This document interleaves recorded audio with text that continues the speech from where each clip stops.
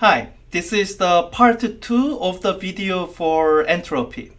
So in part 1, we just looked at the introduction of entropy as a new state function, hopefully very relevant in the description of the second law of thermodynamics.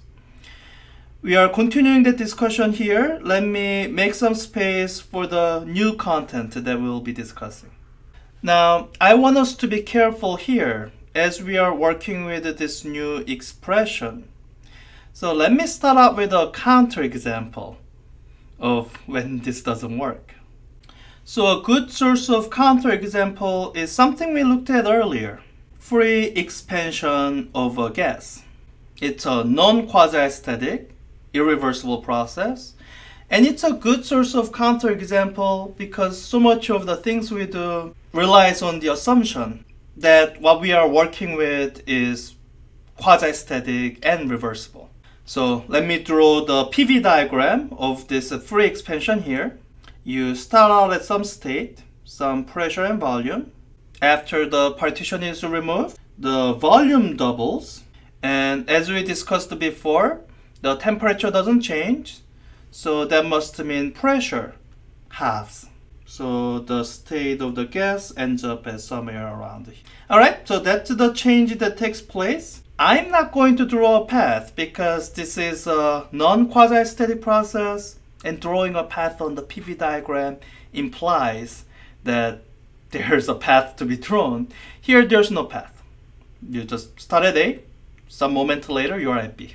Now, if you try to naively apply the change of entropy is equal to Q over T, you will naively conclude that change of entropy is zero because there was no heat transfer. In fact, your textbook calls this an adiabatic process, and I never liked that description. And I hope when you hear this description, I hope this sounds wrong to you because it should not feel like that somehow the state of this gas here occupying half the volume is same as the state of the gas here occupying double the volume. It should not feel like you have gone through a cycle and the total change of entropy was zero. So I hope your intuition tells you that something is wrong here, that this is not correct. So if this isn't correct, what can we do? Well, we can use the fact that we think this entropy thing is a state function which means the actual path you take um, shouldn't make a difference. Now here there was no path to take, so let me just draw a path, which is not going to be the free expansion process that took place, but it's a path that I'm using purely for calculation. Let's say we have an isobaric expansion followed by isochoric cooling. Because these are both the steps I have taken in the earlier calculation in part 1 and I can just kind of look up the result, change the variables. Okay, let me do that. So the change of entropy in process 1 is equal to, looking over at the result, it's 3 halves nk natural log of, oh I need to label the point. Let me call that c, tc over ta plus there's a change of entropy associated with the change in volume, nk natural log of volume at C over volume at A. Alright, change in entropy in process 2 is there's no change in volume, just change in temperature. 3 halves nk the final temperature over the initial temperature. So now let's write down the correct change of entropy. If you look at it carefully, the first terms actually cancel out if you factor out 3 halves and k, add these together, then TB is actually equal to TA.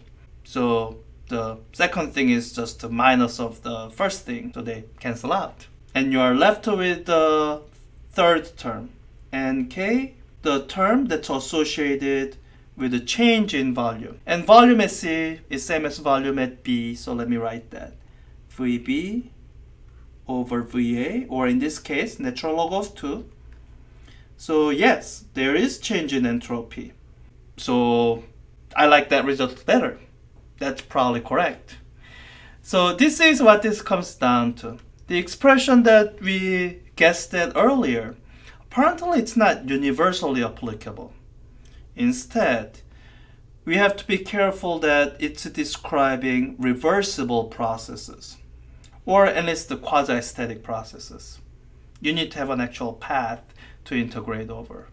When you have a big jump, like what free expansion describes, neither this infinitesimal expression or this finite expression applies for those big jump processes.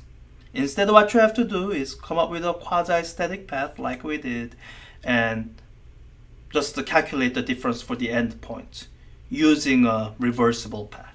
Okay, so this is a bit of a counterexample. I wanted to lead with this because this is a very common mistake that many students in thermodynamics make.